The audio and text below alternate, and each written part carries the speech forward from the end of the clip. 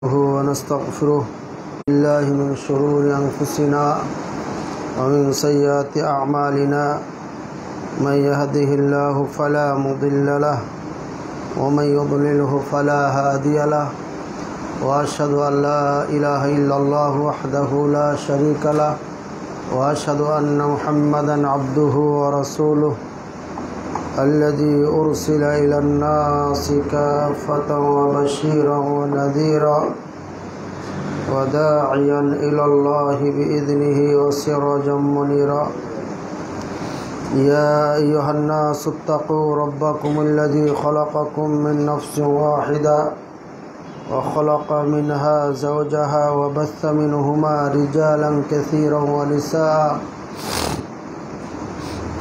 واتقوا الله الذي تساءلون به والأرحام. إن الله كان عليكم رقيبا. يا أيها الذين آمنوا اتقوا الله حق تقاته ولا تموتن إلا وأنتم مسلمون. يا أيها الذين آمنوا اتقوا الله وقولوا قولا سديدا. يصلح لكم أعمالكم ويغفر لكم ذنوبكم. ومن يطع الله ورسوله فقد فاز فوزا عظيما. أما بعد فإن خير الحديث كتاب الله وخير الهدي هدي محمد صلى الله عليه وسلم وخير الأمور عوازمها وشر الأمور محدثاتها فإن كل محدثة بدعة وكل بدعة ضلالة وكل ضلالة في النار. فأعوذ بالله من الشيطان الرجيم. شهد الله أنه لا إله إلا هو والملائكة والملائكة وأولو العلم قائم بالقسط لا إله إلا لا إله إلا هو العزيز الحكيم. فقال النبي صلى الله عليه وسلم خير ما قلت أنا والنبيون من قبلي لا إله إلا الله وحده لا شريك له له الملك وله الحمد وهو على كل شيء قدير.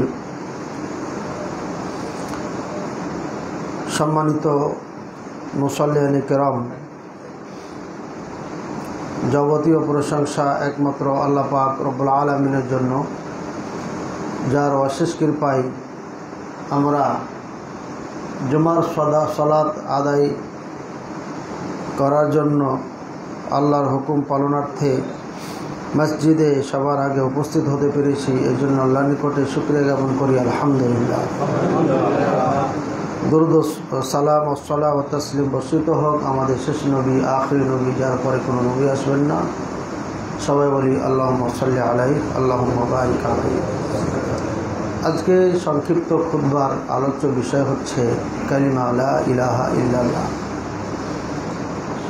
কালিমা লা ইলাহা ইল্লাল্লাহ শর্ত শুরুতুলা ইলাহা ইল্লাল্লাহ, ওয়া নওয়াকিদুহা কালিমা অয়িবা লা ইলাহা ইল্লাল্লাহর শর্ত সমূহ এবং কালিমা বিনষ্টকারী বস্তু সম্পর্কে আলোচনা হবে। আজকের খোদবার জন্য যে কোনো একটা নিয়ে আলোচনা করলে সময়টা শেষ হয়ে যাবে। কালিমার শর্ত আপনার নিয়ে আলোচনা করলে আজকের খুদবা শেষ হয়ে যাবে। তাও হয়তো শেষ হবে না আলোচনা। তারপরও দুইটি আলোচনা করার চেষ্টা করব, এই জন্য একটা আরেকটার সাথে সম্পৃক্ত রয়েছে। আর যদি না পারি, তাহলে শর্ত আমার সংক্ষিপ্ত আমার বইয়ে ওই যে মদিনা শিশুটি নামে যেটা জানেন আপনারা। এটার বর্তমানে আমরা নাম দিচ্ছি ইসলামী শাহী আকিদা ও মদিনা শিশুটি। আর আগে ছিল মদিনার শিশুটি ও প্রকৃত মমিনের বিশ্বাস। নামটা একটু আমরা চেঞ্জ করছি এটা। তো এই বইয়ের মধ্যে আলোচনাগুলো আছে, তবে বিস্তারিত নেই। আজকে কালিমা নিয়ে আলোচনা করব। এই কালিমা, শর্ত নিয়ে আলোচনা আমার চোখে এখনও পড়ে নাই, কেউ করেছেন কি না বিস্তারিতভাবে এজন্য ভাবলাম যে আলোচনাটা করা উচিত। কালিমা না জানার কারণে আজকে যে অবস্থা মুসলিমদের, এটা মানে কল্পনাই করা যায় না। মূল কারণ হচ্ছে ওরা কালিমা না বোঝার কারণ। কালিমা যদি বুঝতো, তাহলে পারে কখনো এগুলো ঘটতো না বা আমরা দেখতে পাতাম না, যা এখন দেখতে পাচ্ছি, শুনতে পাচ্ছি প্রথমেই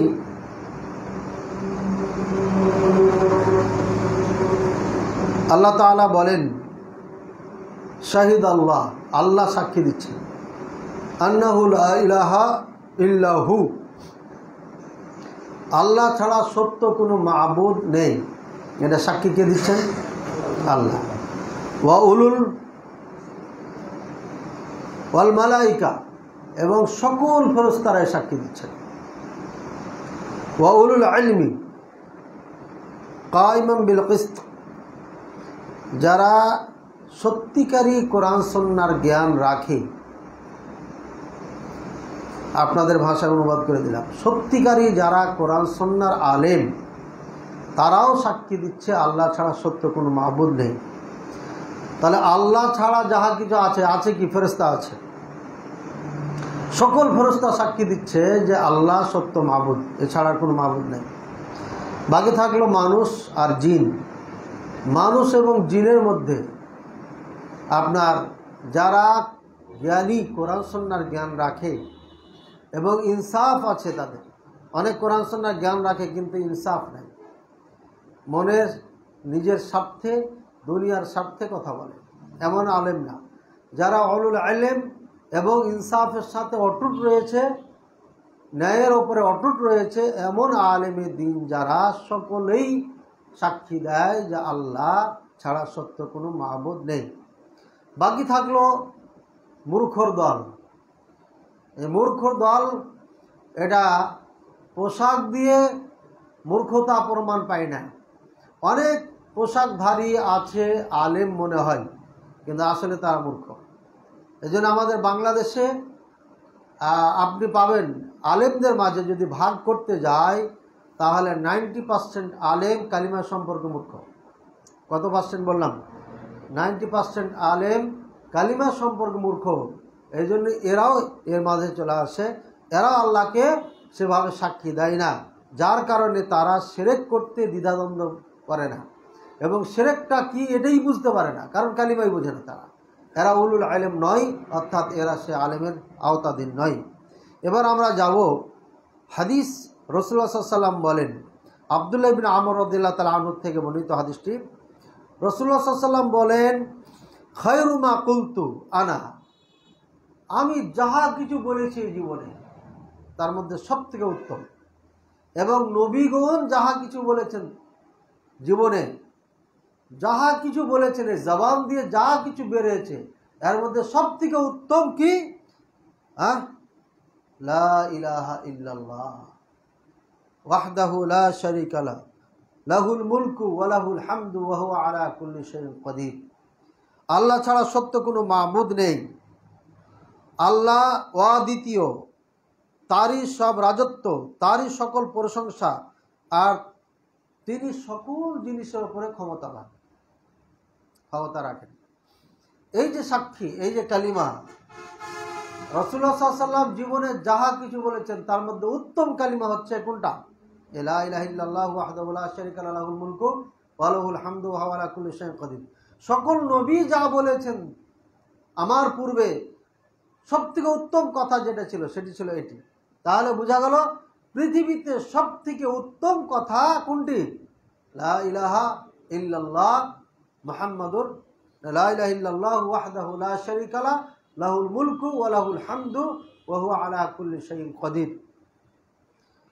এই হলো আপনার হাদিসের আলোকে লা ইলাহা ইল্লাল্লাহর মর্যাদা বা তার দাম। সুতরাং লা ইলাহা ইল্লাল্লাহ এমন একটি কালিমা, কোনো কিছু দিয়ে একে তুলনা করা যাবে না, সবার ঊর্ধ্বে কালিমা। এবার আমরা লম্বা না করে সামনে চলে যাচ্ছে খুব দ্রুত। মানুষকে আল্লাহ পাক রব্বুল আলমী সাক্ষী দিতে বলেছেন, তোমরা সাক্ষী দাও, বলো লাই লাইলাহিল্লাহ সম্পর্কে। সুতরাং এটা সাক্ষী জবান দ্বারাই দিতে হবে এবং অন্তর থেকে দিতে হবে। আপনারা শুনেছেন, আমার এই বইয়ের মধ্যে আছে এবাদত কত প্রকার? পড়েছেন? এর আগে তো আপনারা এখানে খুদবা দিয়েছি আমি। বইটাও মাসাল্লাহ অনেকে নিয়েছেন। মুসাল্লি যতজন ছিলেন তার থেকে বেশি বিক্রি হয়েছে। তো এই বইটা পড়েছেন? পড়েননি আমার মনে হচ্ছে। মানে এত বই পড়বেন কেমনে? আপনাকে এত বই পড়তে বলে কেটা? টাকা নষ্ট করেন কেন? আপনি সলাতের একটা বই পড়েন, ভালো বই। এরপরে যদি সময় পান, দুই একটা মন চায় যে আরও কিছু জানি, তাহলে ডানে মামে দুই একটা দেখলেন। মূল একটা কেতাব পড়েন, একটা, ভালো করে পড়েন। আর তাওহিদের ওপরে কেতাব, সংক্ষিপ্ত আমি আগে বলেছি, মানুষের মতো বলতে পারি না। আমার এই বইটি পড়লে আশা করি আপনি একটি খাঁটি কমপ্লিট মুসলিম হওয়ার জন্য যা যা দরকার এখানে পাবেন। বিস্তারিত এখানে নাই, কিন্তু নির্যাস তাওহিদের যা দরকার, আকিদার ওপরে এই কেতাবে আছে। এবাদত চার প্রকার। এবাদত কত প্রকার? চার প্রকার। কাউলিয়া, এবাদা কাউলিয়া, জবান দিয়ে বলা।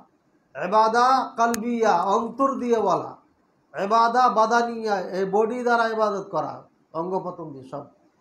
আর একটা হচ্ছে এবাদা কি? মালিয়া। মাল দিয়ে ইবাদত করতে হবে। ইবাদত কয় প্রকার হলো? অনেকে জবান দিয়া বলি, মন দিয়ে বিশ্বাস করি ঠিক আছে? শরীর দিয়েও করি, কিন্তু মাল দিয়ে করি না। তাহলে এবাদত চারটার একটা আপনার মাঝে নাই। এই চারটি এবাদত আপনার মাঝে থাকতে হবে, তাহলে আপনি আবেদ হতে পারবেন। চারটির একটিও ছাড়া যাবে না। সুতরাং কালিমার সাক্ষী এভাবে দিতে হবে। আপনার অঙ্গপতন দিয়ে দিতে হবে, জবান দিয়ে দিতে হবে, কালিমার বহিঃপ্রকাশ আপনার বডির মধ্যে থাকতে হবে, কালিমার বহিঃপ্রকাশ আপনার সম্পদ দিয়েও থাকতে হবে।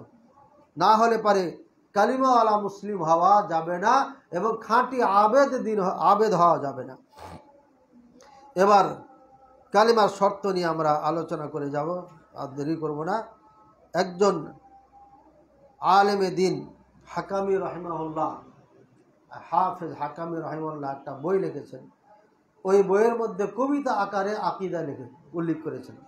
তার মধ্যে এই সেটটা রয়েছে।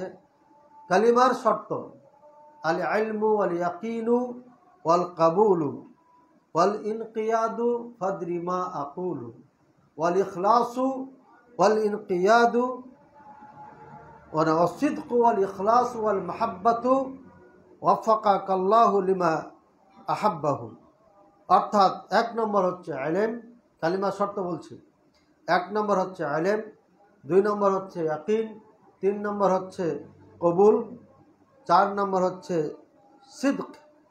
পাঁচ নম্বর হচ্ছে আল ইখলাস। ছয় নম্বর হচ্ছে আল মাহাব্বা। আমার মনে একটা ছুটে গেছে। সাত নম্বর আল ইনকিয়াদ। আবার বলছি, আল আলেম আল ইয়াকিন, আল কাবুল, আল ইনকিয়াদ, আল ইখলাস আল সিদ্ক, আল মাহাব্বা। আর একটা, সেওয়া আপনার গাইরিল্লাহ আল্লাহ ছাড়া যত কিছু আছে সবকে অস্বীকৃতি করা, অস্বীকৃতি জানানো। এই আটটি হচ্ছে কালিমার শর্ত। এই আটটি বইয়ের মধ্যে আছে, আপনারা সংক্ষিপ্ত এভাবে পাবেন যেভাবে আমি বললাম। এবার তাফসিলে যাই। ফাউয়ালুহাল আলমু প্রথম হচ্ছে কালিমার শর্ত আলেম আলেম মানে জানা। আলেম মানে জ্ঞান রাখা। সুতরাং লাইলাহিল্লাহ সম্পর্কে পরিপূর্ণ আপনাকে জ্ঞান রাখতে হবে। তাহলে লাই লাইলাহিল্লাহ সম্পর্কে জ্ঞান রাখতে হবে দুই ধরনের, নাফিয়ান ও ইসবাতান। এর মধ্যে দুইটা পার্ট আছে, একটা না বচক আর একটা হাঁ বচক না বচক এটাকে একটা রুকুন বলা হয় আর না হা বচককে একটা রুকুন বলা হয়, দুইটা রুকুন।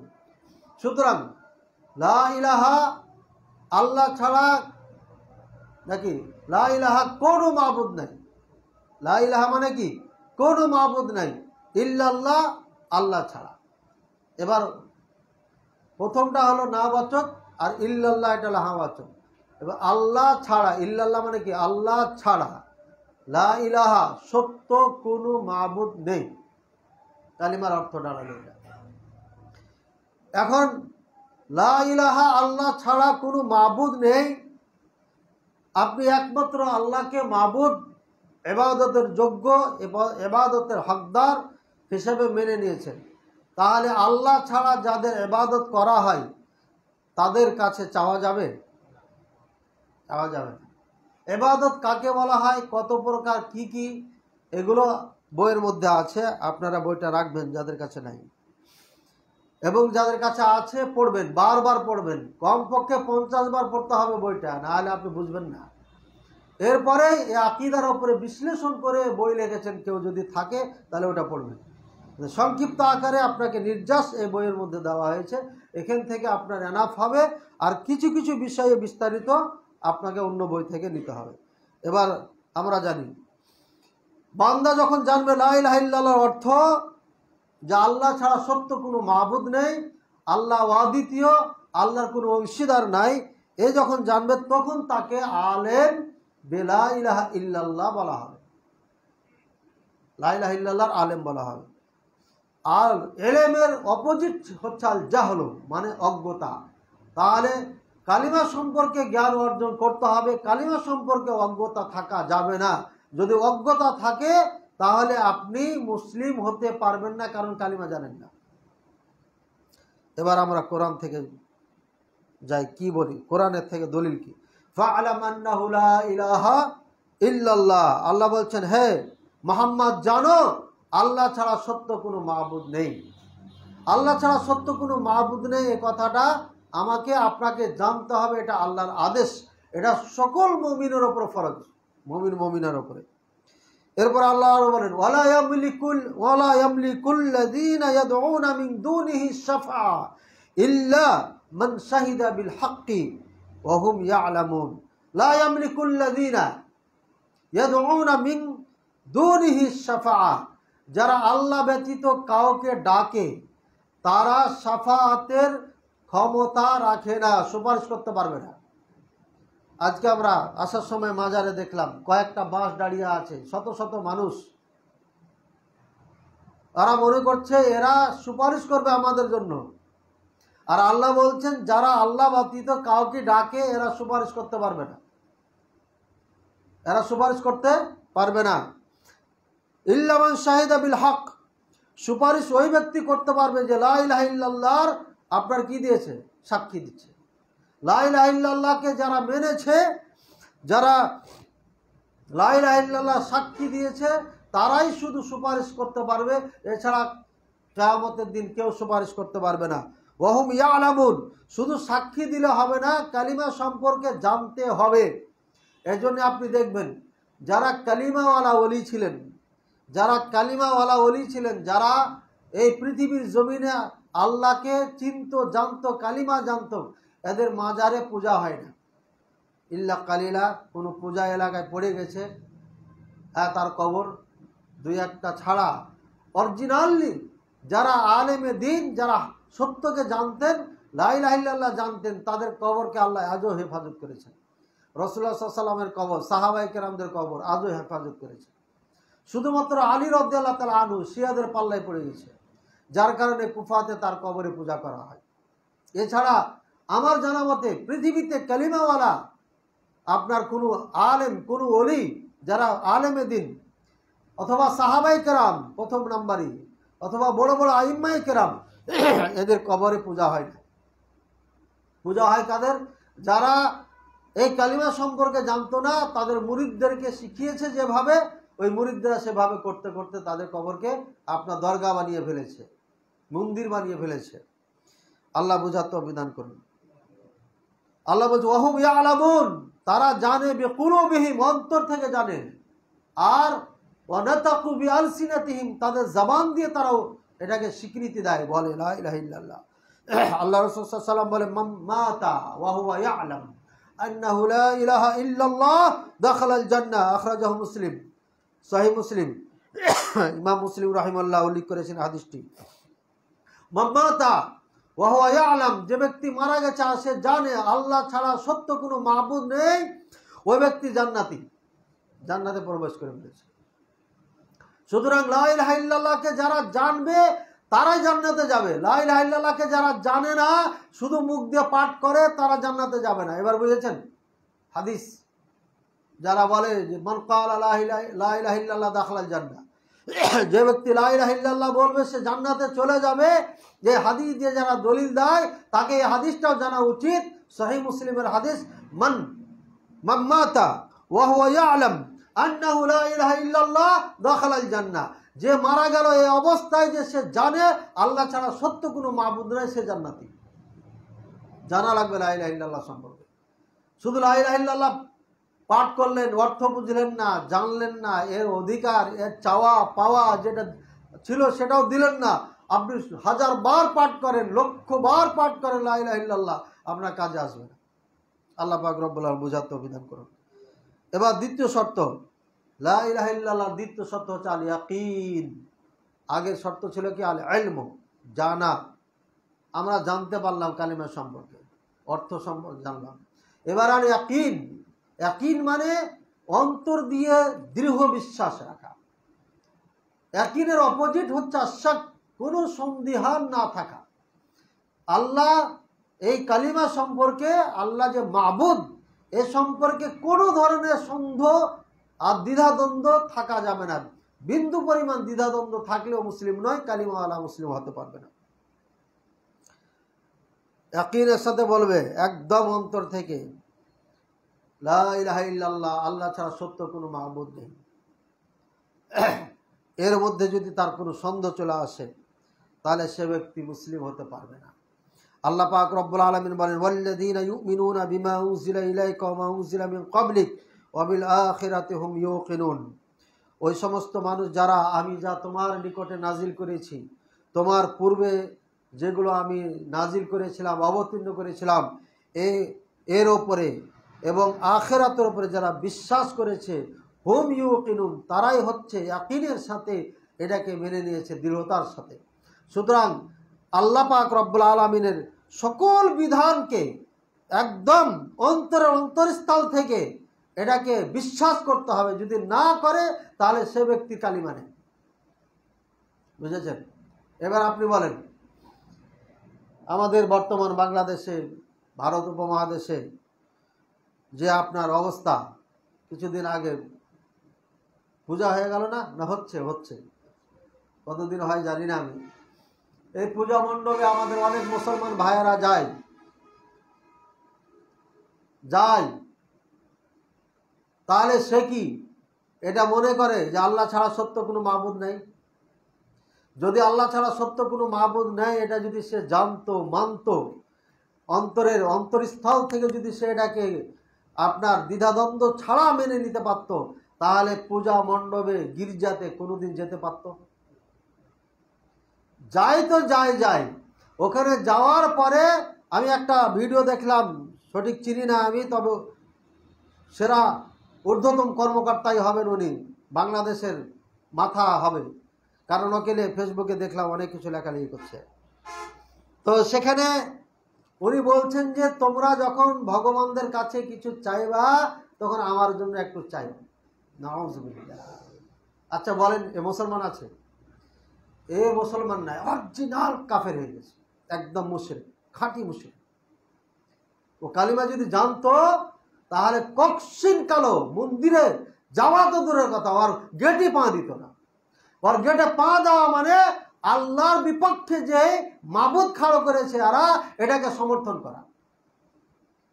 শুধু সমর্থন করে নাই এই বেচারা, যাইয়া বলছে, তোমরা যখন চাইবা কিছু কইবা, আমার জন্য কিছু কইবে নাওজুবিল্লাহ। কত ভয়ঙ্কর কথা। বিন্দু পরিমাণ যদি ইমানের আলো তার অন্তরে থাকতো, কালিমার, যদি শুধু অর্থটাই জানতো, কোশ্চিন কালে কথা বলতে পারতো না। এটা কোনো মমিনের মুখ থেকে বের হতে পারে না। ভাইয়ের আমার, আজকের এই আলোচনার থেকে আমি বলব, বাংলাদেশে যারা নেতা নেত্রী আছেন, যারা রাজনৈতিকের সাথে জড়িত আছেন, এদেশে যারা নাগরিক যে ধর্মেরই হোক, তাদের নিরাপত্তা দেওয়ার দায়িত্ব আপনাদের। এতে কোনো সন্দেহ নেই। অনেক পুলিশ ভাই আমার কাছে ফোন দিয়েছেন যে আমাকে নিরাপত্তার জন্য, ডিউটি দেওয়ার জন্য দায়িত্ব দেওয়া হয়েছে। এখন কি করব আমি? আমি বললাম, সরকার যে দায়িত্ব দেওয়া দিয়েছেন নিরাপত্তার জন্য, নিরাপত্তার ব্যাঘাত যেন না ঘটে, এটা আপনাকে খেয়াল রাখতে হবে। অন্তর থেকে এটা ঘৃণা করতে হবে। আবার যদি ওখানে যে নাচতে শুরু করেন আর প্রসাদ যদি খেতে লাগেন তাহলে আপনি অরিজিনাল মুশরেক, চিরকাল জাহান্নামে, কোনোদিন জান্নাতে যেতে পারবেন বুঝেছেন? সুতরাং রাষ্ট্রে যারা বসবাস করে, রাষ্ট্র দায়িত্বে যারা রয়েছেন, রাষ্ট্রের দায়িত্বে যারা রয়েছেন, তাদের দায়িত্ব হচ্ছে তাদেরকে নিরাপত্তা দিবে, এটা কোনো সন্দেহ নেই। আবার এটা গণতন্ত্র দেশ, এখানে আমাদের নিষেধ করার কোনো পথই নেই। যদি এটা না হতো গণতন্ত্র দেশ, তাহলে আমরা বলতাম যে না, ওটাও করতে হবে না। পারলে করুক, না পারলে ছেড়ে দাও। ঠিক আছে? আমাদের মসজিদে কয়টা নিরাপত্তা দেওয়া আছে? আমাকে তো যে কোনো সময় এই মাজারওয়ালারা গুলি করতে পারে, মাজার তো কাছেই। পারে না? তো আমার নিরাপত্তার জন্য পুলিশ কোথায়? ওখানে পূজা করবে তো নিরাপত্তা লাগবে কেন? ঝামেলা আছে ওখানে, সমস্যা আছে। নারী পুরুষ একাকার হয়ে লাফালাফি করবে, নিরাপত্তা ছাড়া চলবে? এই নিরাপত্তা দরকার। সারা জীবন বাংলাদেশে লাগে নাই এই একটা আওয়াজ উঠানো হচ্ছে, নিরাপত্তা দিতে হবে, নিরাপত্তা এটার মানে হচ্ছে, এটা বোঝানো হচ্ছে বহির্বিশ্বে যে বাংলাদেশে যারা অমুসলিম রয়েছে, তারা আতঙ্কে রয়েছে। তারা ভালো নাই দেশে। এই জন্যে তাদের নিরাপত্তা, বারবার নিরাপত্তা নিরাপত্তা বলা হচ্ছে। আওয়াজ, এই আওয়াজটাই বিশ্ববাসীকে বোঝাচ্ছে বাংলাদেশের অমুসলিম যারা ভালো নাই। এটা ব্রেনের মায়ের। কেউ না বুঝলে, মূলবিরা তো আমরা বুঝি। কি বুঝাইতে চাচ্ছে? খালি নিরাপত্তা নেই। এতদিন নিরাপত্তা লাগে নাই। আমাদের এলাকায় এক গ্রামে তিনটা মন্দির বানিয়ে দিয়েছে সরকার। সরকারের টাকা দিয়ে। তিনটা মন্দির। দ্বিধাসে তারা পূজা করে আসছে। আমি এই এত বড় থেকে দেখি, যখন থেকে আমরা হুশ হয়েছে। আজ পর্যন্ত কোনোদিন দুর্ঘটনা ঘটেনি। এটা হচ্ছে দুর্ঘটনা ঘটাচ্ছে ওরা। হ্যাঁ দাদাদেরকে বোঝাচ্ছে, আমরা বিপদে আছি, এই জন্য এখন নিরাপত্তা দরকার হয়ে গেছে। বুঝছেন ভাইয়ার আমার এই কালিমা ইন্নামাল মুমিনুন আল্লাযীনা আমানু বিল্লাহি ওয়া রাসূলিহি সুম্মা লা ইয়ারতাবু সূরা হুজুরাত 15 নম্বর আর আগেরটা সূরা বাকারা 4 নম্বর আয়াত ইন্নামাল মুমিনুন আল্লাযীনা আমানু বিল্লাহি ওয়া রাসূলিহি সুম্মা লাম সুম্মা লাম ইয়ারতাবু নিশ্চয় মমিন কারা বলে দিচ্ছেন আল্লাহ? নিশ্চয় মমিন হচ্ছে ওরা যারা আল্লাহকে বিশ্বাস করেছে, স্বীকৃতি দিয়েছে, মেনে নিয়েছে, রসুলকে স্বীকৃতি দিয়েছে, মেনে নিয়েছে, বিশ্বাস করেছে।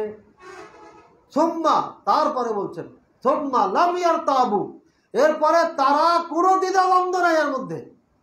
সন্ধিয়ার নাই তাদের ভিতরে। যদি আপনার মাঝে সন্দেহ থাকে, তাহলে আপনি কাফের হয়ে যাবেন, মুশরিক হয়ে যাবেন সাথে সাথে। এই বেচারা মন্দিরে যে বলছে, তোমাদের ভগবানের সাথে যখন ডাকবা তো আমাকে বঞ্চিত করিও না, আমার জন্য কিছু বলিও। এর মানে ও কালিমালাইল্লার মধ্যে সন্দেহ পোষণ করে, আল্লাহর প্রতি বিশ্বাসে তার ঘাটতি রয়েছে, যার কারণে আল্লাহ ছাড়া অন্যদের কাছেও চাওয়ার জন্য সে আবদার করেছে। এই জন্য সে অরিজিনাল মুশরিক হয়ে গেছে। চিরকাল জাহান্নামি হবে, কোনোদিন জান্নাতে যেতে পারবে না যদি তোবা করে আবার মুসলিম না হয়। বড় নেতা হলি হয় না। বড় পদস্থ হয়ে গেলে পারে জান্নাত পাওয়া যাবে না। বিশাল কোটি কোটি টাকার মালিক, ডলারের মালিক হয়ে গেলে জান্নাত করাই করা যাবে না।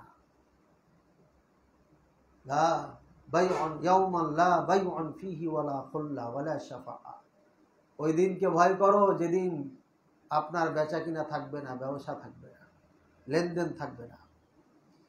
ওই দিনকে ভয় করো যেদিন কোনো বন্ধু থাকবে না, ওই দিনকে ভয় করো যেদিন কেউ সুপারিশকারী থাকবে না।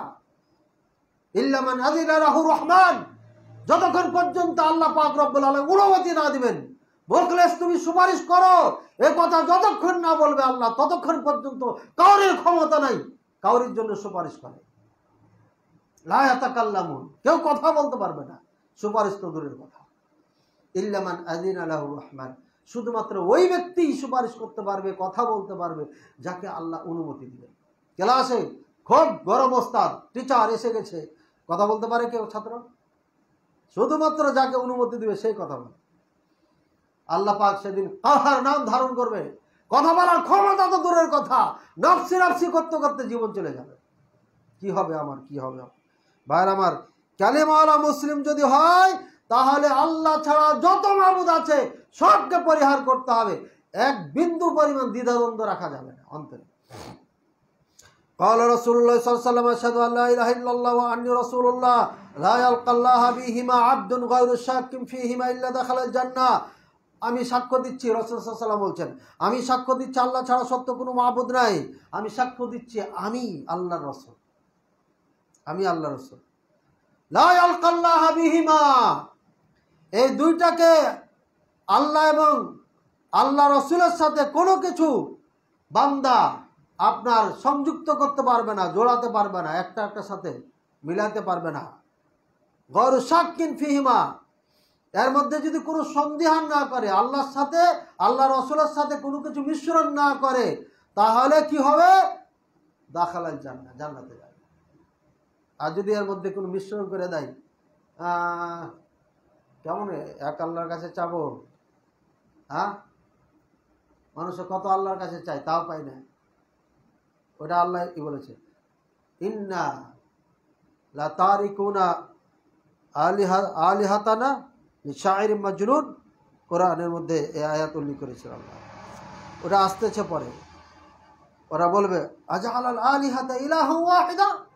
এই মোহাম্মদ তুমি এতগুলো মাবুদকে বাদ দিয়ে একটা মাবুদ বানাইছো মানে আমরা শত শত মাবুদকে ডাকি, ইবাদত করি, তারপরও আমাদের আশা পূরণ হয় না, বিপদ যায় না, আর তুমি একটা বানিয়ে দিলে, একটাতে কেমন হয়?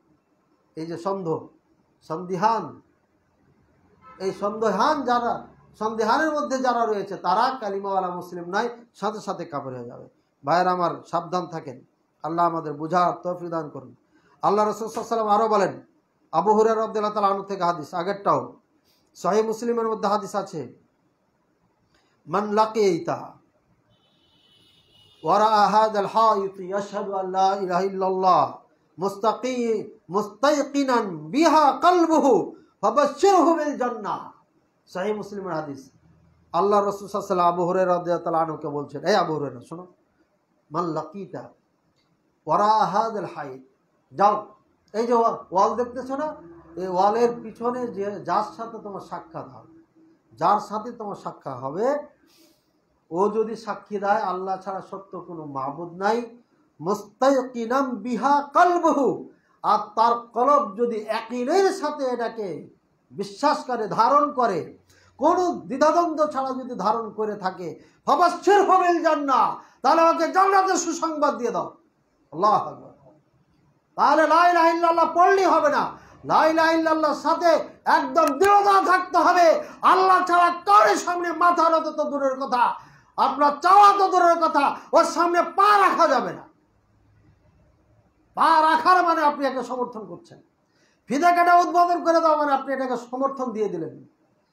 ব্যানারে পোস্টার দিয়ে শুভেচ্ছা জানাইছেন মানে একে স্বীকৃতি দিয়েছেন আপনি।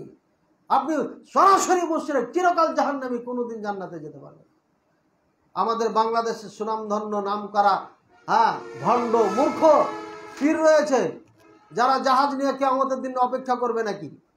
যাদের দল করলে যাদেরকে ভোট দিলে নাকি রসুল রসুলামকে ভোট দেওয়া হয়? হ্যাঁ? এই চোরেরা, এই মূর্খরা আপনার শুভেচ্ছা জানাইছে। পূজার শুভেচ্ছা জানিয়ে জানিয়ে ব্যানার লটকাই দিয়েছে। আরও অনেক মূর্খ আছে, দরবার শরীফ নাম দিয়েছে, দিয়ে ওখানে ওই মূর্খ লেগে দিয়েছে। শুভেচ্ছা, স্বাগতম। এর মানে কি? সমর্থন যোগাইছে। ও অরিজিনাল মসজিদে চিরকাল জাহান নামে কোনোদিন জান্নাতে যেতে পারবে। বুঝছেন কথা? আর একটা উত্তর দিয়ে দিই। এই ভণ্ড পীরে একটা ওয়াদ করছে আজকে আমি দেখলাম, তাই মনে হয়ে গেল আর কি। বহুত পুরানা এটা। চার মাঝহাব মানতে হবে। চার মাঝহাব ছাড়া উপায় নেই হ্যাঁ? চার মাঝহাব মানতে হবে, সুতরাং চার মাঝহাবের উদাহরণ দিচ্ছে। গাভীর ওলান আছে না ওলান? কি বলেন? আমরা বাঁট বলি। গাভীর বাঁট আছে বাঁট মানে চারটা যে ওলান থাকে, দুধ বের হয়।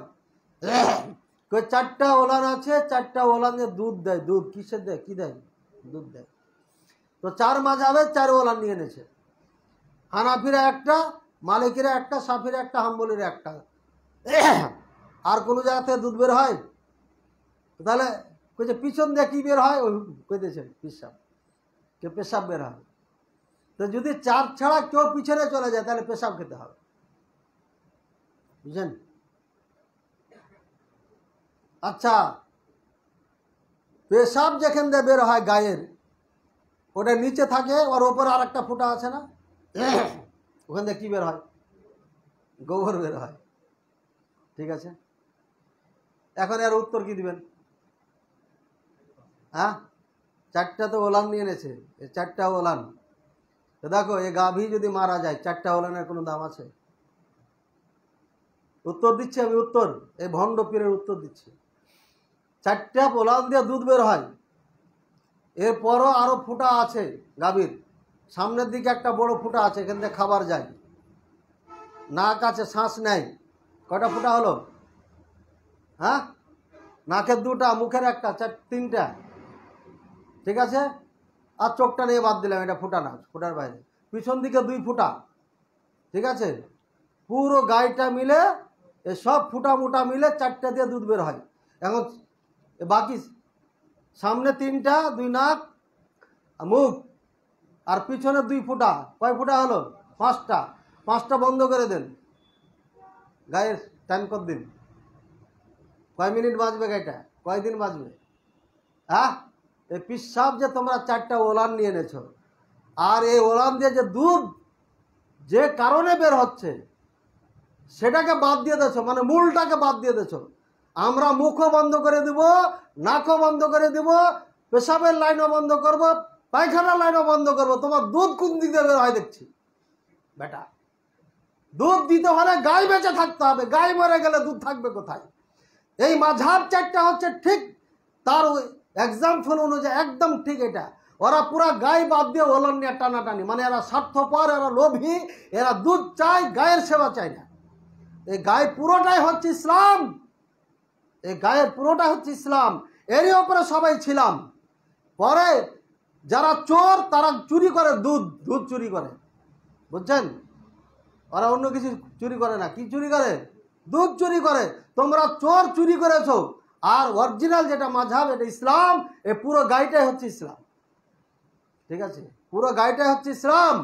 এই গায়ের মধ্যে যে দুধ বের হয়, এটা তোমরা চোর চুরি করছ, চুরি করে দল বানিয়েছো। বানানোর পরে আবার আমাদেরকে লামা ঝাবি বলো। তোমরাই লামা ঝাবি অরিজিনাল ইসলামকে বাদ দিয়েছ তোমরা, দিয়ে আবু হানিফা উমুক উমুক ইমামকে অগ্রাধিকার দিয়েছ। এর মানে ইসলাম আনকমপ্লিট। রসুল্লাহ সাল্লাম বুঝে নাই। নাউজুবিল্লাহ। সাহাবা কেরাম বুঝে নাই, এই জন্যে ওরা চারজন ইমাম তৈরি করেছে যে এরাই বুঝেছে। বুঝেছেন? পৃথিবীতে এমন কোনো মাস আলা নাই, এমন কোনো মাস আলা নাই যে মাসালার সমাধান ইসলামে নেই। সমাধান আছে। এ মুখ থাকতে হবে, তাহলে সমাধান পেয়ে যাবে। আবু হানিফা রহমুল্লাহ, আমরা তাকে মাথার তাজ মনে করি, কোনো সন্দেহ নেই।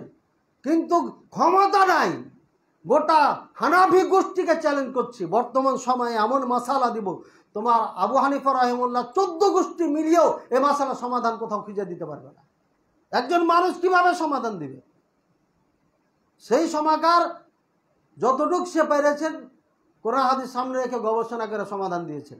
কিন্তু এই যুগের সমাধান কি উনি দিতে পারবেন? দিতে পারব তো জানে না।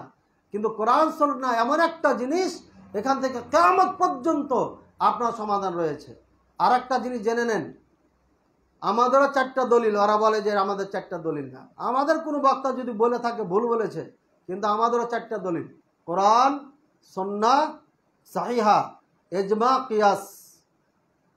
আমাদেরও চারটা দলিল। কোনো বক্তা যদি বলে এজমা কিয়াস মানি না, ভুল বলছে। কথা বলছেন ও আহলুসন্না ওয়াল জামাতের অন্তর্ভুক্ত হতে পারবে না, বের হয়ে যাবে। বলে গেলাম, মনে রাখবেন। এজমা কোরআন সন্না এজমা কিয়াস চারটি আমাদেরও দলিল। কোরআন সন্না এটা তো বুঝেন আপনারা। এজমা কাকে বলা হয়? ওয়ার্ল্ড গোটা পৃথিবীর মুসলমান যত আলেম আছে এজমা হয়ে গেছে। যে ইমাম যখন খুতবা দিবে, মোবাইল সামনে নিয়ে দেখে দেখে হাদিস পড়বে, কোরআন পড়বে খুদবা দিতে পারবে এজমা হয়ে গেছে। বাস, এটা কোনো সমস্যা নেই। কিন্তু ওদের এজমা হলো সমস্যা কি? ওরা এজমা করে হ্যাঁ বাংলাদেশের মুক্তির এক জায়গায় হয়েছে দশ বারোটা, দিয়ে এজমা করেছে। বলছে আমরা এজমা হয়ে গেছি। আমার গ্রামে কুরবানি গোস্ত কয় ভাগ করবে? কে ছয় ভাগ করে এক ভাগ দিয়ে দাও আর পাঁচ ভাগ নিয়ে নাও তুমি। তো আমাকে এসে বলছে, ভাই, আমরা তো সবাই বসে, আমাদের যত যে সমাজ ছিল, একশো ঘর, দেড়শো ঘর, সবাই বসে এটা এজমা করে নিয়েছি, ছয় ভাগ করে এক ভাগ দিব, পাঁচ ভাগ নিয়ে চলে আসব। আমি এজমা কি বাবার, বাপের ঘরের? যে আপনার এজ- এজমা করা কে আপনি? এজমা করা কে? এজমা কাকে বলে? এজমা হতে হবে সমস্ত সাহাবাই কেরাম যাকে নিয়ে কোনো দ্বিমত করে নাই। আইম্মাই কেরাম যে সব মাসালা নিয়ে কোনো দ্বিমত করে নাই। এমন মাসালা যদি দেখাইতে পারে, তাহলে সেটা এজমা ওটা চলবে, এছাড়া চলবে। পৃথিবীতে এমন কোনো মাসালা যেটা আমরা মানি না, আর ওরা দেখাবে এজমা চ্যালেঞ্জ করলাম গোটা হানাফিকে, ওরা কোনোদিন দেখাতে পারবে এটা অপবাদ দেওয়া হয় আমাদের। আমি চ্যালেঞ্জ করে দিলাম। পৃথিবীতে এমন কোনো মশালা আহলে হাদিস মানে না, আর ওর ওপরে এজমা আছে, এমন একটা মশালা দেখিয়ে দিবে। চ্যালেঞ্জ করলাম। একটা, বেশি না। আমার সামনে এসে চ্যালেঞ্জ করবে। কারণ আপনি তো জানেন না, মাহফিলে এসে আপনার এখানে বলে চলে যাবে। ওটা না।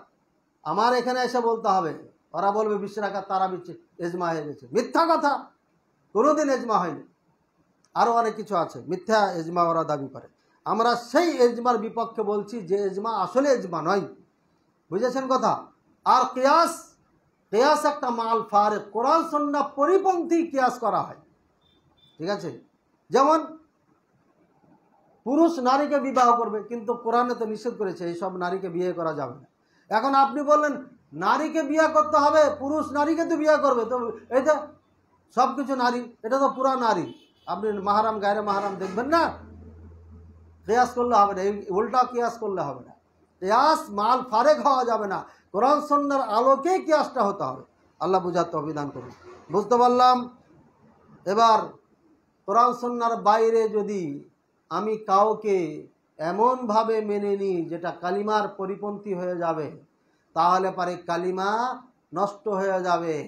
যারা মাঝহাবকে এভাবে নিয়েছে যে যদি আবু হানিফা রহিমুল্লাহকে বা ইমাম মালিক রহিমুল্লাহকে বা অন্য অন্য ইমামদেরকে যদি এই মাঝহাব, চার মাঝাবের এক মাঝহাবকে না মানি, তাহলে আমি মুসলিম থাকব না, মুসলমান হব না বা আমি চলতে পারব না, ইসলাম মানতে পারব না, এমন যদি কেউ মনে করে অথবা আনকমপ্লিট মনে করে ইসলামকে চার মাঝাবের ইমাম ছাড়া, তাহলে ও অরিজিনাল কাফের চিরকাল জাহান নামে কোনোদিন জান্নাতে যেতে পারবে আর যদি সে এভাবে মানে যে আমি পরিচয় আবু হানিফা রহমুল্লাহ দিচ্ছি হানাফি বলে, আমি সাফি বলে, মালিকি বলে হ্যাঁ আওয়ামী লীগ বলে, বিএনপি করে, তবে কোরআন সন্না পেয়ে গেলে আমার কোনো আপত্তি নেই। বাট আমি পরিচয় দিচ্ছি হানাফি। তাহলে এতই কোনো সমস্যা নেই। আমি পরিচয় দিচ্ছি সাফি। আমি এতই কোনো সমস্যা নেই। আমি হাম্বলি, মালিকি পরিচয় দিচ্ছি। কিন্তু কোরআন সন্না আসলে পরে আমি সাথে সাথে মাথা নত করে ফেলি। মেনে নিই তাহলে আপনার এই দাবিতে কোনো সমস্যা নাই। কিন্তু দাবি করছেন আপনি এক মাঝহাবের ইমামের দিকে সম্বোধন করছেন, আর কোরআন হাদিস দিচ্ছি তখন আপনি এটাকে অস্বীকার করছেন, ফেলে দিচ্ছেন ডিনাই করছেন, না, এটা আমাদের মাঝহাবে নাই, আপনি কাফের, সাথে সাথে কাফের। আপনি বিশুদ্ধ হাদিসকে অস্বীকার করেছেন। এই জন্য মুসলমান থাকবেন। আল্লাহ বুঝার তো অভিধান করুন।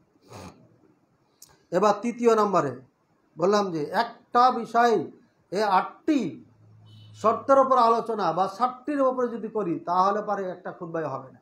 তো বাকি আর বাকিটা বলি কেমন? আল কাবুল, কবুল গ্রহণ করে নিতে হবে। কীভাবে গ্রহণ করবে? ইয়ানি ইয়াকবালা কুল মাকতাদাতহু হাদিহি আল-কালিমা বিকলবি ওয়া লিসানি ওয়া ইউসাদ্দিকু বিল আখবার ওয়া ইউমিনু বিকুল্লি মা জা আনিন নবী সাল্লাল্লাহু আলাইহি ওয়াসাল্লাম, তরিকে নবী সাল্লাল্লাহু আলাইহি ওয়াসাল্লাম আল্লাহ আল্লাহ রসুলের পক্ষ থেকে যাহা কিছু এসেছে, পরিবর্তন, অপব্যাখ্যা ব্যতীত সেম সেম যেভাবে এসেছে মেনে নিতে হবে। আল্লাহ কোরআনে বলেছেন লায়াব কাইল্লা ওয়াজহু আল্লাহ চেহারা থাকবে, সব ধ্বংস হয়ে যাবে। বাস আল্লাহর চেহারা আছে, কেমন আছে জানি না। খালাক বিয়া দাইয়া আমি হাত দিয়ে সৃষ্টি করেছি আদমকে। হ্যাঁ তাহলে আল্লাহর হাত আছে, বাস কেমন হাত জানি না। এখানে যদি অপব্যাখ্যা কেউ করে যেটা কুদরাত এটা উমুক এটা আসলে অরিজিনাল হাত নয় তাহলে সাথে সাথে কাফের হয়ে যাবে সাথে সাথে কাফের হয়ে যাবে এটা হচ্ছে কালিমার দাবি শরীয়তে যাহা কিছু এসেছে সব আপনাকে কবুল করে নিতে হবে কবুল না করতে পারলে আপনি কালিমার থেকে বের হয়ে যাবে আল্লাহ আমাদের বোঝার তো অভিধান করুন الذين آتيناهم الكتاب يعرفونه كما يعرفون أبناءهم وإن فريقا منهم ليكتمون الحق وهم يعلمون কবুল গ্রহণ করা আর এর অপোজিট হচ্ছে গ্রহণ না করা প্রত্যাখ্যান করা ওই কথাই বলছেন আল্লাযীনা আতাইনাহুমুল কিতাব আমি যাদেরকে কিতাব দিয়েছিলাম অর্থাৎ তাওরাত ইনজিল জাবুর ইয়ারিফুনাহু এরা আল্লাহকে চিনত, কামা ইয়ারিফুনা আবরাহুম, যেমনে তারা তাদের সন্তানকে চিনত। অর্থাৎ আল্লাহকে এমনভাবে চিনত, যেমন সন্তানকে চিনতে কেউ ভুল করে না। সন্তানকে যেমনি চিনত, তেমনি আল্লাহকে চিনত তারা। কিন্তু কি করতো তারা ওয়া হুম কিন্তু এদের মধ্যে একটা দল ছিল, এরা সত্যকে গোপন রেখে দিত, এরা সত্যকে প্রকাশ করতো না। অথচ এরা জানতো, জেনে শুনে গোপন করে দিত। আমাদের এই বাংলাদেশে লাখো মৌলবি রয়েছে, সত্যকে জানার পরে গোপন করে দেয়। আবার একা একা জিজ্ঞাসা করেন, ঠিকই করবে। হ্যাঁ ওদেরটাও ঠিক আছে। বলবে কি, ওদেরটাও ঠিক আছে। আমি একটা অনলাইনে একটা চ্যানেলে আলোচনা করার জন্য আহ্বান জানিয়েছিল। সেখানে আলোচনা করার জন্য বলা হয়েছে যে মোনাজাত নিয়ে, দেখেছেন অনেকে। তো আমি চিন্তা করলাম যে তাহলে একটা নতুন কিছু করা যায় কিনা দেখি। তো বোখারির হেডলাইনগুলো আমি নোট করতে লাগলাম, দেখতে লাগলাম। দেখতে দেখতে দেখলাম প্রথম খণ্ড, এটা দুই খণ্ড করা হয়েছে ভারত উপমহাদেশে। এই প্রথম খণ্ডের ছত্রিশটা অধ্যায়কে আমাদের বাংলাদেশের হানাফি ভাইয়েরা মানে না। কত খণ্ড? কয়টা অধ্যায়? ছত্রিশটা অধ্যায়কে মোটি মানে না এরা। তো ওদের সাথে কিসের বহাস, কিসের মোনাজারা? ওরা তো বোখারি মানে না। ওরা তো সহি মুসলিমই মানে না রে ভাই, সহি হাদিসই তো মানে না। রফল আদাইনের হাদিস মানসুখ হয়ে গেছে, তো ছত্রিশটা অধ্যায় কি মানসুখ হয়ে গেছে? তোমার চোদ্দ গোষ্ঠীকে চ্যালেঞ্জ করলাম, প্রমাণ করে দাও। আসলে ও মানবে না এগুলো। বেকার ঝগড়া করে আমাদের সাথে। ছত্রিশটা অধ্যায় ভালো করে মনে রাখেন। ছত্রিশটা অধ্যায়কে এরা মানে না, এরা নামে মুসলমান দাবি করে। আসলেই কামে এরা সহি হাদিস মানে না, সহি হাদিস পরিপন্থী এরা। এই জন্য বলছে, এই আহলে কেতাবরা সত্য জানার পরও সত্যকে গোপন করে রাখত। তো এরা মুসলমান, আহলে কেতাব। সুতরাং মুসলিম দাবি করলে হবে না। সত্যকে মেনে নিতে হবে, প্রকাশ করতে হবে, বলতে হবে। আল্লাহ আমাদের বোঝার তফি দান করুন। এরপরে চতুর্থ নাম্বার হ্যাঁ এর মধ্যে এই কালিমার কবুল করতে হবে এমনভাবে। এর পরিপন্থী যেগুলো আছে, সেগুলো যদি আপনি কোন ধরনের রদ করে দেন, প্রতি, প্রতিবাদ করেন বা অস্বীকৃতি জান অথবা ঘৃণা জানেন অথবা সেটাকে না প্রশ্ন উঠান প্রশ্নবিদ্ধ করেন, তাহলে আপনি মুসলিম থাকবেন না। আপনার তৃতীয় শর্তটা, যেমন কিছু শরীয়তের বিধিবিধান আছে, যেমন চুরি করলে হাত কেটে দিতে হবে। আপনি বলছেন, না, হাত কেটে দিলে একটা মানুষ জীবনটাই তো বাধে হয়ে গেল। এটা করা যাবে এই যে কবুল করলেন না আপনি। ধর্মের শরিয়াতের যে আইন ছিল, চুরি করলে হাত কেটে দিবে, এটাকে আপনি প্রশ্নবিদ্ধ করলেন। প্রশ্নবুদ্ধে কীভাবে করলেন?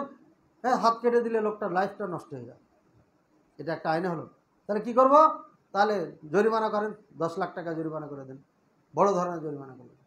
এই জরিমানা করে দিয়ে ছেড়ে দিলেন ওকে আপনি কবুল করেন নাই, কালিমা ছুটে গেছে আপনার। জেনা, কেউ যদি জেনা করে নওয়াজবিল্লা তাহলে তাকে বিবাহিত যদি হয়, পাথর মেরে মেরে মেরে ফেলতে হবে অবিবাহিতা হলে পারে, ছেলে হোক, মেয়ে হোক, অবিবাহিত হলে পারে, ওকে একশো করে ব্যাপ মারতে হবে, একটা ম্যাপ ধরতে হবে, আর একশো করে মারতে মারতে মারতে মারতে মারতে মারতে একশো শেষ করতে হবে। আর কোনো দয়া করে মারা যাবে না, একদম পুরা শক্তি দিয়ে মারতে হবে। বুঝছেন? দয়া করে মারা চলবে না।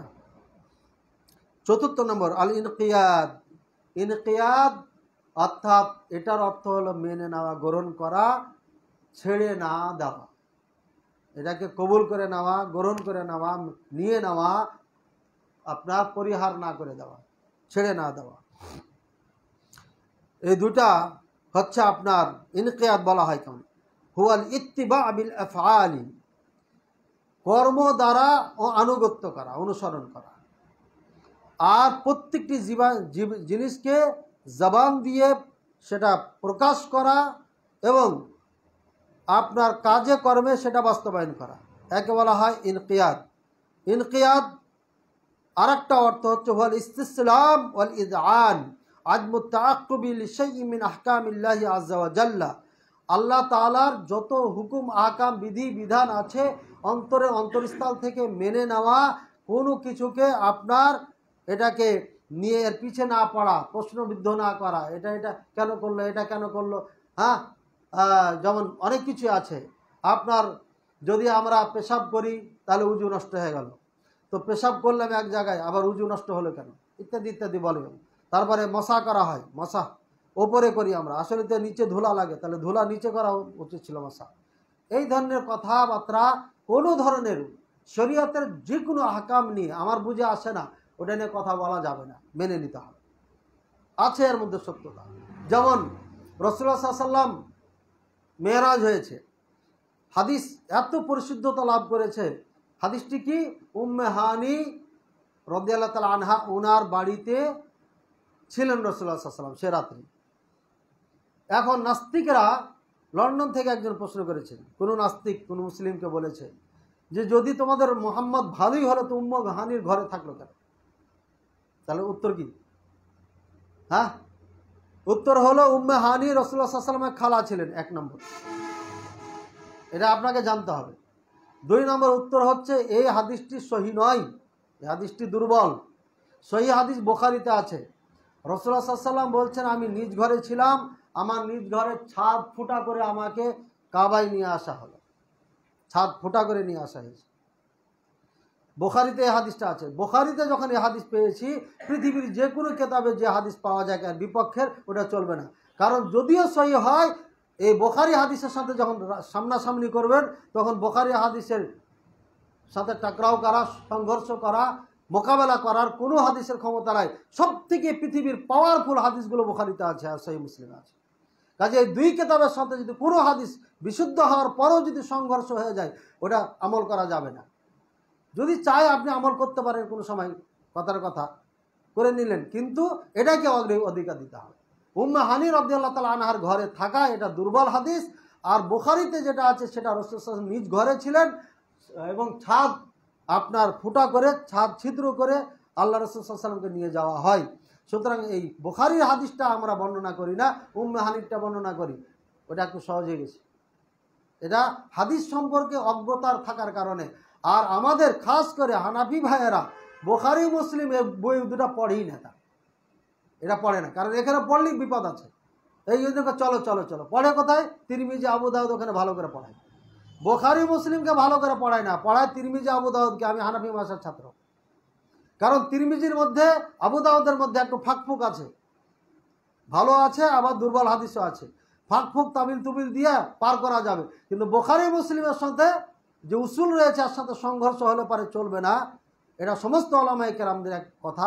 এই উসুল, এই নিয়ম নীতিতে যদি আপনার বোখারি পড়াতে যায়, তাহলে ওদের মশালা অনেকগুলো টিকবে না। যেমন ছত্রিশটা মশালা আমল করে না তারা মানি না ছত্রিশটা অধ্যায়। ওয়ানিবু ইলা রাব্বিকুম ওয়াসলিমু লাহু। সূরা জুমারের 54 নম্বর আয়াত, আল্লাহর জন্য সব কিছুকে মেনে নিতে হবে, কোনো ধরনের কিলোকাল করা যাবে না। যে কোনো বিধান আল্লাহ পক্ষ থেকে এসেছে, একদম চোখ বন্ধ করে মেনে নিতে হবে। এবং ওর ওপর রাজি থাকতে হবে। ফালা ওয়ারাব্বিকা লা ইউমিনুন হাত্তা ইউহাক্কিমুকা ফীমা শাজারা বাইনাহুম, সুম্মা লা ইয়াজিদু ফী আনফুসিহিম হারাজাম মিম্মা কাদাইত ওয়া ইউসাল্লিমু তাসলিমা। সূরা নিসা 65 নম্বর আয়াত। আল্লাহ আল্লাহ রসুলকে যে কোনো বিষয়ে যদি তোমাদের দ্বিমত হয়ে যায় আল্লাহ রসুলকে বিচারক হিসাবে মেনে নিতে হবে, মানার মতো মানতে হবে, অন্তরের অন্তরস্থল থেকে মানতে হবে, কোনো সংশয়, দ্বিধাদ্বন্দ্ব থাকা যাবে না। থাকলে মমিন হতে পারবে না। সোরা নেশা আপনার পঁয়ষট্টি নম্বর আয়াত এও আজ অনেক শুনেছেন এই জন্য শর্টে বললাম। আল্লাহ পাক রব্বুল আলমিন বোঝার তফি দান করুন। আল্লাহ, আর পঞ্চম নম্বর, আমাদের চতুর্থ নম্বর শর্ত গেল। পঞ্চম নম্বর শর্ত হচ্ছে সিদ্ধ একদম বিশ্বাস করা, মনের অন্তরের অন্তরস্থল থেকে বিশ্বাস করা। এক নম্বর,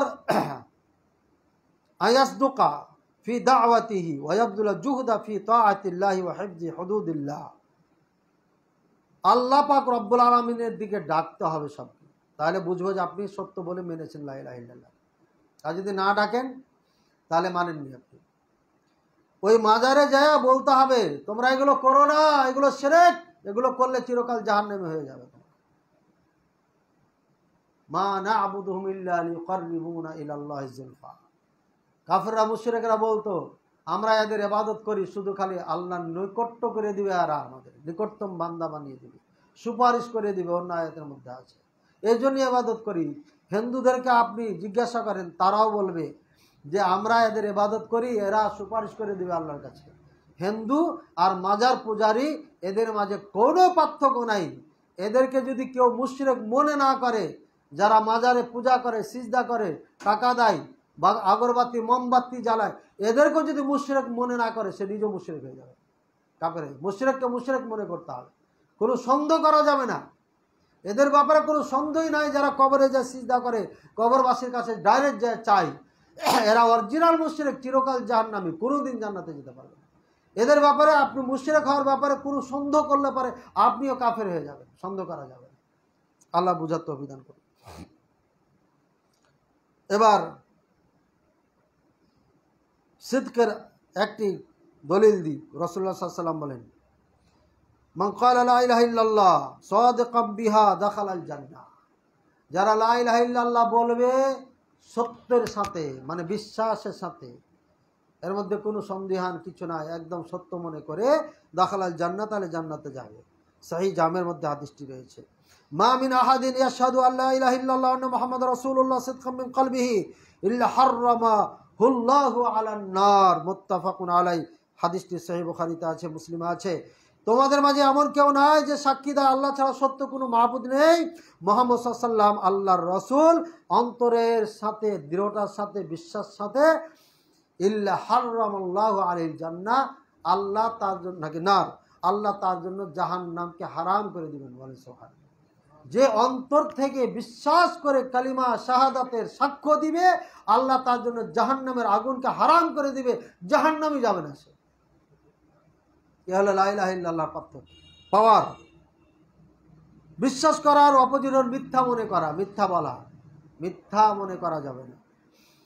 আল্লাহ পাক রব্বুল আলমিন আমাদের বোঝার তফিদান করুন। অমিনান্নাস মান ইয়াকুলু আমান্না বিল্লাহি ওয়া বিল ইয়াউমিল আখির ওয়া মা হুম বিমুমিনিন। সূরা বাকারা 8 নম্বর আয়াত, কিছু মানুষ আছে তারা বলে, আমরা ইমান এনেছি আল্লাহর প্রতি, ঈমান এনেছি আখিরাতের দিবসের প্রতি।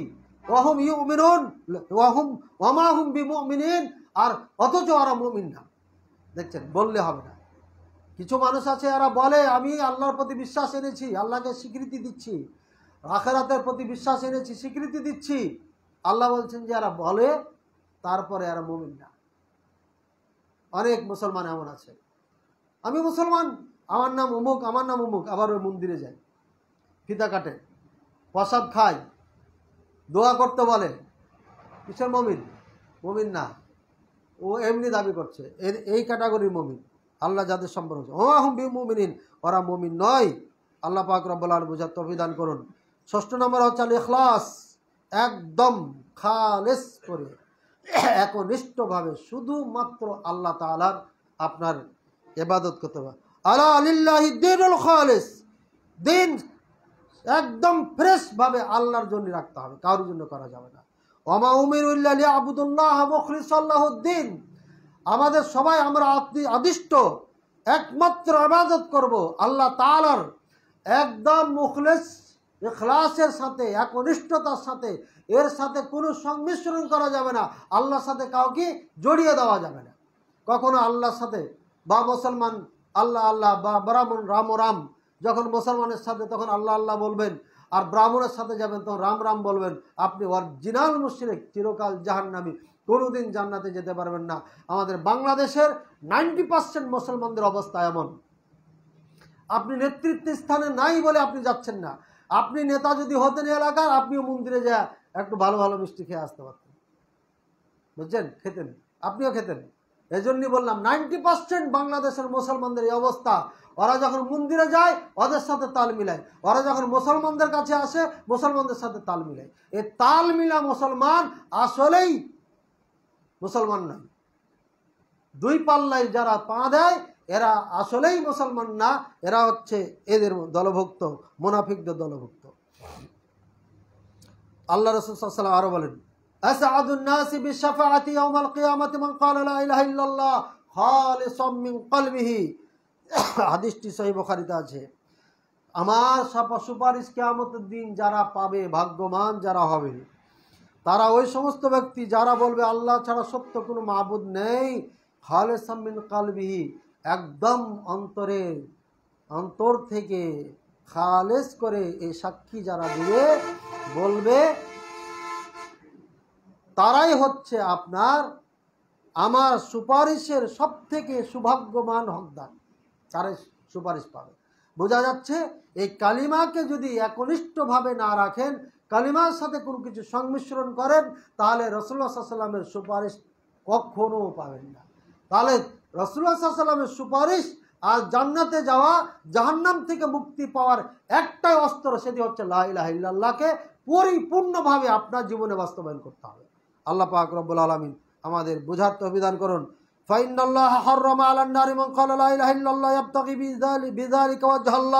হাদিসটি এটিও সহিহ বুখারী মুসলিমে আছে। যে নিশ্চয় আল্লাহ তাআলা ওই ব্যক্তির উপরে জাহান্নামের আগুনকে হারাম করে দিয়েছেন, যিনি লা ইলাহা ইল্লাল্লাহর সাক্ষী দেয়, যে আল্লাহ ছাড়া সত্য কোনো মাবুদ নেই। আর এর দ্বারা আল্লাহর সন্তুষ্টি কামনা করে। আল্লাহকে একনিষ্ঠভাবে সাক্ষী দেয়। আল্লাহ ছাড়া সত্য কোনো মাহবুদ নেই। এর সাথে কাউকে মিশ্রণ করে না। এমন ব্যক্তির জন্য আল্লাহ পাক রব্বুল আলমিন জাহান্নামের আগুনকে হারাম করে দিয়েছেন।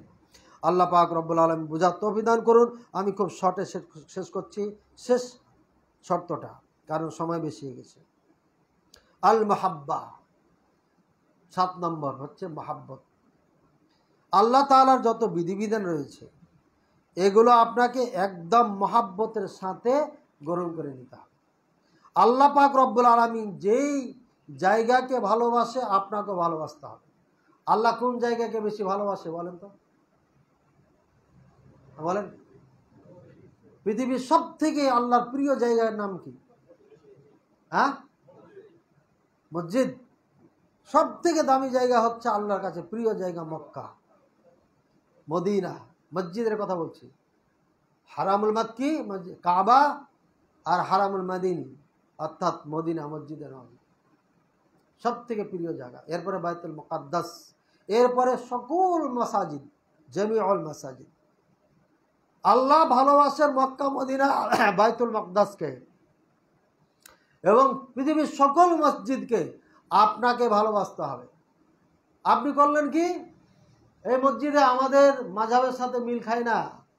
এরা বুকে হাত বাঁধে, রফলে দেন করে, আমিন বলে, মসজিদ ভেঙে ফেলে দাও। হলো? কালিমা থাকল? এই কালিমা শর্ত নাই আপনার মাঝে।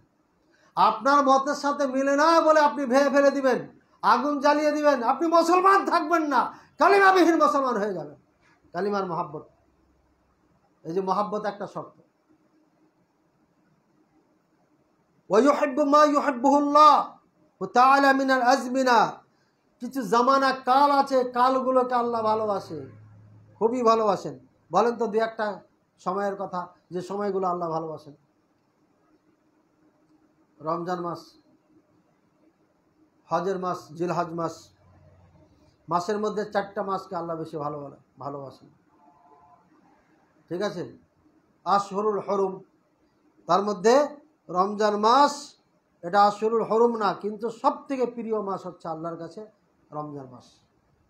এরপরে জিলহজ্জা জিল কাদা সওয়াল ইত্যাদি ইউহিব্বু মান আহাব্বাহুমুল্লাহু মিনাল আশখাস। আর যে সমস্ত মানুষকে আল্লাহ ভালোবাসেন, ওই সমস্ত মানুষকে আপনাকে ভালোবাসতে হবে আল্লাহ যে একজন মানুষকে ভালোবাসেন, এটা কেমনে বুঝবেন?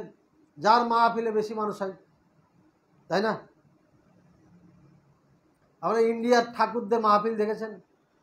কত মানুষ ঠাকুরদের মাহফিলে। ইন্ডিয়াতে দেখে আসলাম, পাড়ায় পাড়ায় পাড়ায় ওয়াজ চলছে হিন্দুদের। পাড়ায় পাড়ায় ওয়াজ চলছে, পাড়ায় পাড়ায় ওয়াজ। গাড়ি এই পাড়ার থেকে পাড়ি ঢুকছে, ওখানে চিল্লাচ্ছে। এ পাড়া ও পাড়ায় ঢুকছে, ওয়াজ চলছে। আমরা ওয়াজ করি না। হিন্দু ইন্ডিয়ার হিন্দুরা এত কঠোর কেন? তাদের পাড়ায় পাড়ায় ঠাকুরকে দিয়ে ওয়াজ করানো হচ্ছে, ওয়াজ করায়। এই জন্যই তারা এত কঠোর শিয়ারা বাড়ি বাড়িতে ওয়াজ করে, পাড়ায় পাড়ায় না, বাড়ি বাড়িতে ওয়াজ করে। এই জন্য কোনো শিয়া আজ পর্যন্ত শোনেন না যে মুসলমান হয়েছে। কারণ ওরা নিজেরাই খাঁটি মুসলিম মনে করে। এমনভাবে দাওয়াত দিয়ে তাদেরকে বুঝিয়ে দিয়েছে ওই পাঁঠারা, পাগড়িওয়ালা পাঁঠা গালা এরা পাঁঠা। বুঝছেন কেন পাঠা বললাম? হ্যাঁ? কন্ট্যাক্ট বিবাহ জায়েজ আছে। যার বাড়িতে যাবে আর মেয়ে যদি পছন্দ হয়, তাহলে কন্ট্যাক্ট বিবাহের সাথে দিতে হবে। যদি পাঠা হয়, বড় পাঠা। বড় পাঠার সাথে বিবাহ না দিলে আপনার জান্নাত, জাহান্নাম সব শেষ। দুনিয়া আখেরা সব শেষই। ওই যে আয়াতুল্লাহ খমিনী পাঠা, এই পৃথিবীর সব থেকে বড় সেরা পাঁঠা ওটা। ও দুধের বাচ্চাকেও বিয়ে করতে বলেছে। দুধের বাচ্চাকেও বিয়ে করবে। কি করবে ওর সাথে? ওই যে ওকে চুমা খাবে, আদর করবে, এটা ওর স্ত্রী। যেখানে যাবে ও বিয়ে করবে। এ কাজ করতে পাঠা। আর ওকে বলে ইমাম আয়াতুল্লাহ খমিনী। ইমাম শয়তান। কিসের আয়াতুল্লাহ খান মুসলমান, ইতিহাস না জানার কারণে ইমাম বলে। আল্লাহ পাক রব্বুল আলমী সব থেকে কাদেরকে ভালোবাসতেন বলেন, বাসেন? বলেন তো। বলেন না। নবীদেরকে, তারপরে আপনার ফেরস্তাদেরকে তারপরে সিদ্দিকিন যারা রয়েছেন, সত্যবাদী, শহীদ যারা আল্লাহর পথে হয়, তাদেরকে আল্লাহ ভালোবাসেন। আর নেক মানুষকে ভালোবাসে নেক মানুষকে আপনি বুঝবেন যে কোরআন সন্না অনুযায়ী আমল করে চলে।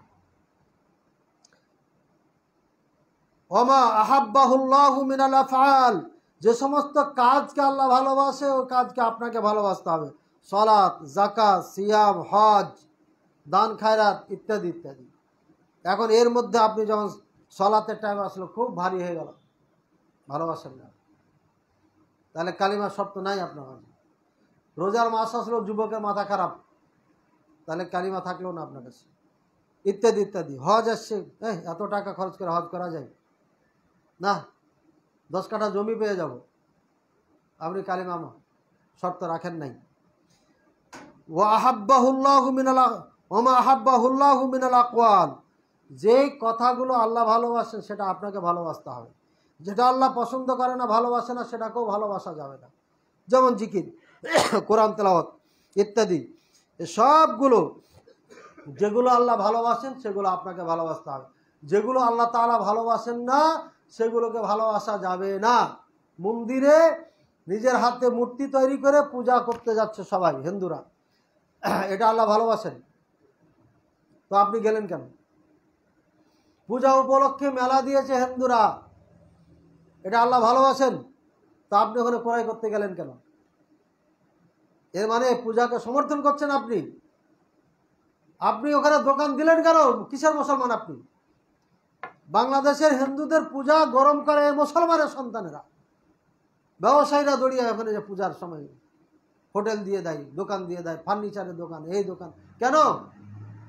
এটা করা যাবে না। যদি এটা করেন, তাহলে আপনি মূর্তি পূজাকে সমর্থন করেছেন, তাদেরকে উৎসাহিত করেছেন, আপনি অরিজিনাল মুশরেক, চিরকাল জাহান্নামী, কোনোদিন জান্নাতে যেতে পারবেন খালি ব্যবসা করলে হবে। আপনার দোকান আছে, দোকানে বিক্রি করেন, সমস্যা নেই। কিন্তু পূজা কেন্দ্রিক আপনি নিয়ে যে ওখানে মেলাতে বসবেন, আপনার জন্য জায়েজ নাই হারাম। আবার যাদের মস্তিষ্ক নষ্ট, তারা বলবে এটা সাম্প্রদায়িক বক্তব্য। যিনা সাম্প্রদায়িক বক্তরা, আমি আমার ধর্মের কথা বলছি।